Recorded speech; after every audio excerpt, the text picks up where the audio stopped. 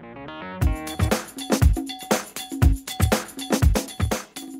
guys, welcome back to my Minecraft video, and today I'm going to be showing you how to make a TNT cannon.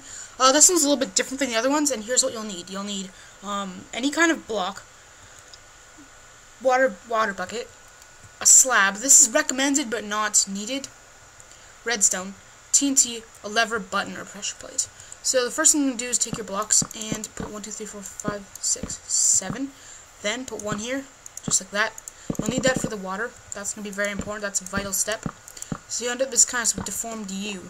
So you see this little thing right here? You can put some water. And it should fit pretty perfectly if you do this correctly. Um, next, you're going to make a second half. And just like that, uh, diagonal form. Do as many as you want. The more you do, uh, the more power, the more the TNT can will shoot. Just don't make it too powerful; it will screw up. Uh, and then just put slabs like all around here because that just makes it look a lot better, and it, the water won't run all over the place when you do this. Um, and next, you want to place well, actually, you need to put two blocks here. You need to connect them with redstone, the two uh, sides, because that's the only way I'll get them to work. Alright, um, so that should work. I'm not sure what it's, there we go. And just do that. There we go. So it has a nice kind of redstone tracing. Um, now you need to get work with the levers. Just put a lever here. And this is a very important part. If you screw this up, it's not going to turn out well. For this, you need to load it up to know where the redstone's going to go. So it's loaded up like this. These are all the projectiles. You'll shoot them all at once. And it's pretty cool. And then you want to put TNT like this. I recommend not doing this because it will screw up your TNT again and that will connect. Um, and then you can just keep loading it. And this is the uh, ammo, if I may.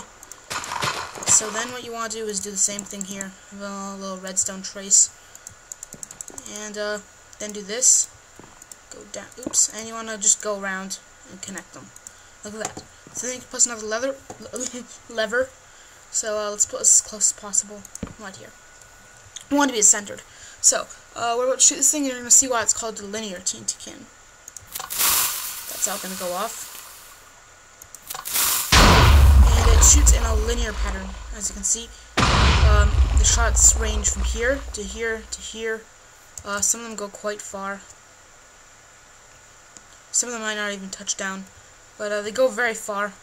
And uh, it does a lot of damage. It's just, it takes a lot of TNT, but it's de definitely uh, something you you may be able to make in survival uh, if you have enough TNT. So, um, that's a linear TNT cannon. If you're wondering where I got this idea, well, I think I might have gotten something similar to it. Very similar, just not quite the same and I improved upon it. The, the other one had this same thing, but it had no ammo, so it just launch you. Uh, I decided to build this half and put that there and put the water there, because otherwise it would just self-destruct. So um, that's a linear TNT cannon. Uh, this has been a tutorial. Thanks for watching.